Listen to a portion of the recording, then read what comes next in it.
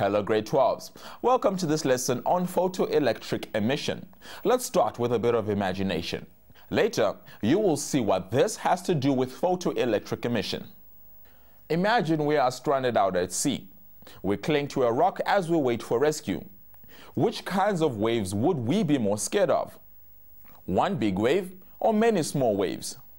Of course, we'll be more scared of the big wave one big wave is more likely to push us off the rock than many small waves.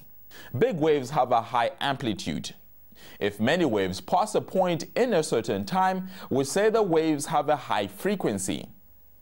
So we would be scared of waves with a high amplitude, even if their frequency was low. In other words, big waves, even if few hit us. We would not be scared of waves of a low amplitude, even if their frequency was high. In other words, small waves, even if many hit us.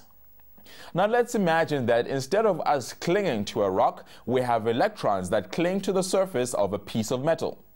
We shine light onto this metal. If light is a wave, which waves would be more likely to push the electrons off the metal? Waves with a high amplitude and low frequency, or waves with a low amplitude and high frequency. Surely, if light is a wave, we would expect the big waves to knock the electrons off, just as the big waves would be more likely to knock us off the rock. So what kind of light has a large amplitude and what kind of light has a high frequency? If light is a wave, its amplitude refers to how bright the light is. Dim light has a low amplitude and bright light a higher amplitude. Another term for a light's brightness is its intensity. Bright light is more intense than dim light. The frequency of the light determines the light's color. Red light has a low frequency. Blue has a high frequency and ultraviolet an even higher frequency. Remember that frequency and wavelength are inversely related. So red light has a long wavelength and low frequency, and ultraviolet light has a short wavelength and high frequency. So remember, we say that big waves seem more likely to knock the electrons off the metal. This means that bright light, which has a high amplitude, should be more likely to knock electrons off the metal than any light which is dimmer. And that was what scientists predicted too. You see, it is possible to knock electrons off a metal by shining certain light on the metal. This is called the photoelectric effect. It is also called photoelectric emission. Photo means light, electric refers to electrons, and emission means being knocked off. Scientists predicted that bright light of any color would be more likely to cause photoelectric emission than dim light of any color. However, to their surprise, they found this was not so. Let's join Tony as he shows us what the scientists did and what they found. Well, in 1885, round about that period, a very interesting discovery was made by Heinrich Rudolf Hertz, the man who in fact proved the existence of radio waves. What he also did was he found an effect known as the photoelectric effect. And in our laboratory today, we can actually show a very simple experiment, a very classical experiment, if you like, on this particular effect.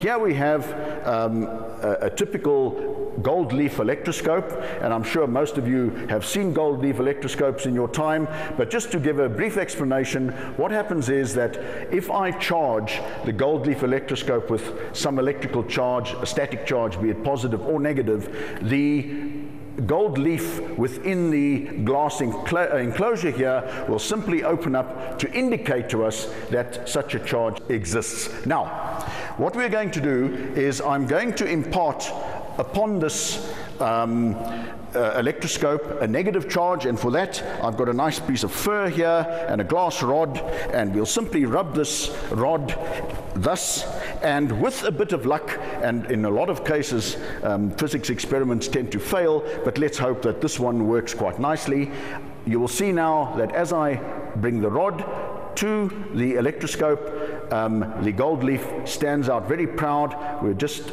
There we are, we've got a nice charge on there, and that hopefully is a negative charge. Now, first of all, let's expose that negative charge, if you like, um, and our zinc plate.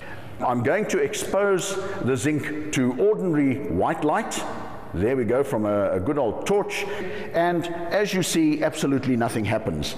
Let's see if it has anything to do with the intensity, because it might well be. For this, I've now got one of these really high intensity lamps used in filming as we have in the studio. And there we go, we switch it on. I've now applied a large amount of high amplitude, if you like, high brightness white light, and still nothing happens. Let's now put the ultraviolet light in place, and look what happens. Your gold leaf discharges.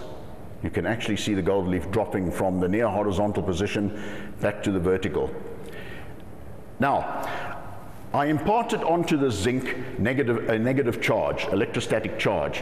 When we exposed the zinc to ordinary visible light from this torch, nothing happened.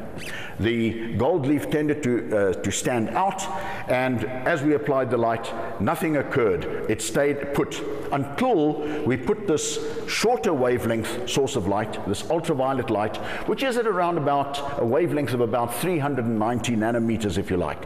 We placed this the, the, the, the source of light close to our um, zinc plate and what in fact happened was that photons, very high energy photons from the ultraviolet source struck the zinc plate and thus knocking off electrons. And so our negatively charged electrons were released and of course discharging our gold leaf electrodes. Thank you, Tony. So these findings are exactly the opposite of what we and scientists at that time predicted. Tony first shone white light onto the zinc. He started with dim white light and then used bright white light. White light consists of a number of colors. All of them have lower frequencies than ultraviolet light. Strangely, even the high amplitude white light could not cause photoelectric emission. The ultraviolet light did successfully cause photoelectric emission even though it was dim. Ultraviolet light has a high frequency. If Tony had used a bright ultraviolet light, it would also have caused photoelectric emission. So what this experiment shows us is that it is the color, not the intensity of the light which determines if photoelectric emission occurs from a metal or not. In other words, whether photoelectric emission occurs is determined by the frequency, not the amplitude of the light.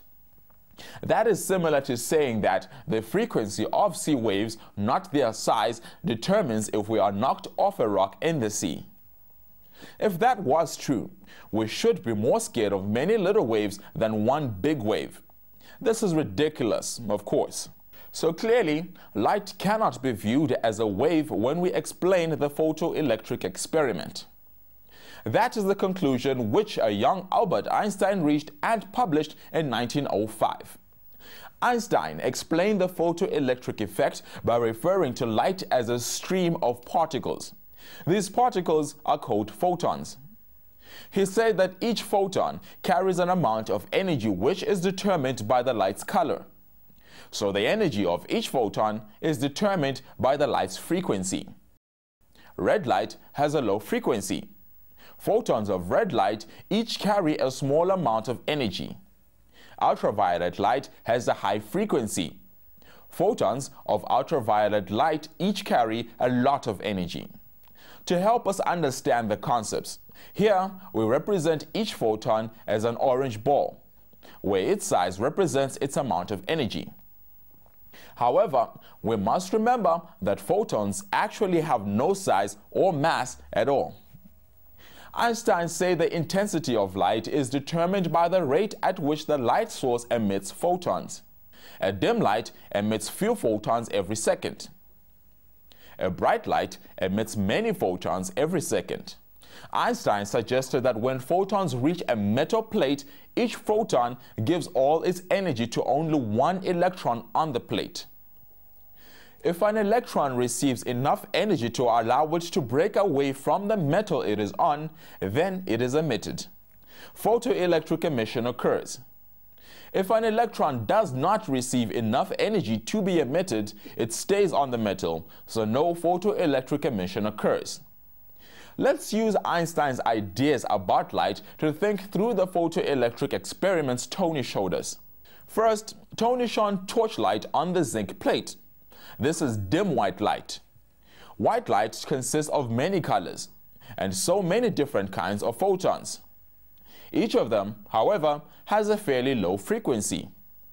For simplicity, the photons are represented here as if they all have the same amount of energy, which is low. The torchlight was dim, so it emitted few photons every second. Can you see why no photoelectric emission occurred when Tony shone the torchlight on the zinc metal? Each photon which reached the metal gave all its energy to one electron.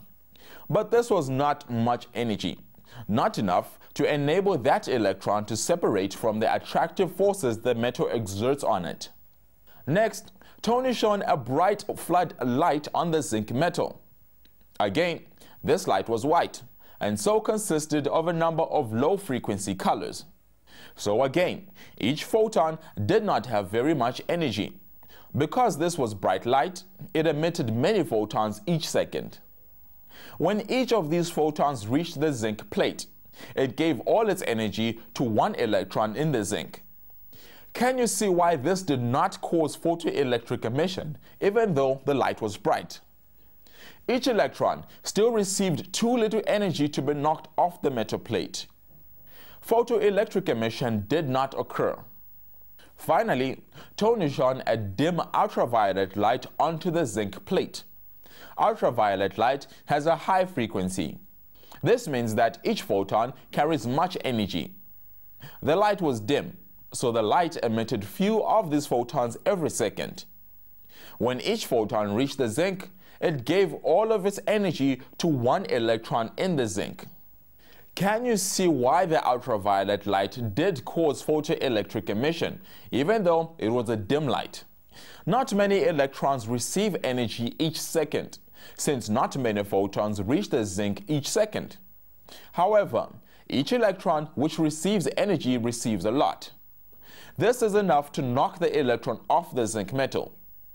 And what would have happened if Tony had shone a bright ultraviolet light on the zinc? Now more of the high energy photons would be emitted by the light each second, so more electrons would receive enough energy to be knocked off the metal each second. So photoelectric emission would still occur, but now at a faster rate. Einstein's explanation of the photoelectric effect won him the Nobel Prize for Science. Why was his explanation so important? This explanation showed that light has a particle nature in addition to light's already known wave nature.